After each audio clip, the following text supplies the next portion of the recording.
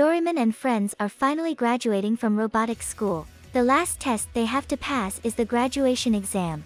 The principal threw them in the bug garden. They need to choose a bug as a partner to reach the finish line to pass. If they don't get to school before sunset, they can't graduate. Everyone is in a hurry to run to find the insects. Doranikov was in no hurry and was slowly left behind. Doraemon chose a butterfly robot, Wong Dora rode a grasshopper, Dora made 3 rode a ladybug.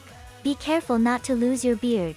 Dora the kid chose a bee, and El Matadora rides a beetle. The meatball worm on which Dorinio is sitting is not simple, it can even become a wheel, and it disappears in a flash. Um, is there someone missing? Ah, while others are running. Doranikov is still slowly floating on the water. He chose a dragonfly larvae hydra robot. It is simply an interpretation of life is stillness with actions. The trio of bad girls who passed by couldn't stand it anymore, pausing to give him a wave of taunting attacks and then walking away. He was floating on the water when suddenly he heard someone calling for help. It turned out that the spider caught Doraemon, Dora the Kid and Dorinio.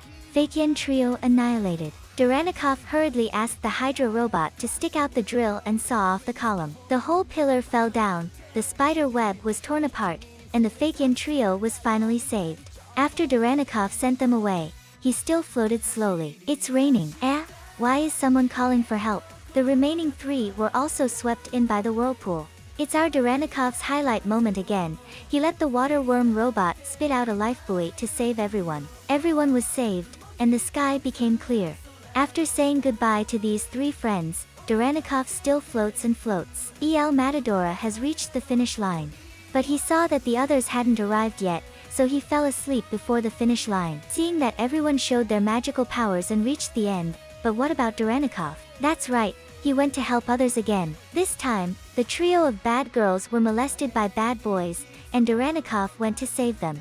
When he saw the round sun in the sky, he immediately turned into a werewolf and fought with those bad guys. Bad Girls was still looking back when she ran away, and love always came so unexpectedly. The sisters flew back to the school and moved to rescue the soldiers, and everyone from the Doraemon team came to save people. Dora the Kid used Bee Gatling, El Matadora used Beetle Rush. Then there is another Wong Dora's Mantis Kick, and finally Dorinio's Ball Worm shoots. Okay, the bad guys have been kicked out. But by this time the sun was slowly setting, and there was not enough time. Doranikov's water droid suddenly grew up and turned into the adult form of a dragonfly. Everyone get on the dragonfly and rushed towards the school. Unexpectedly, when they landed, they still failed to catch up with the sunset. Is everyone going to graduate because of this? No no no, things are not that simple.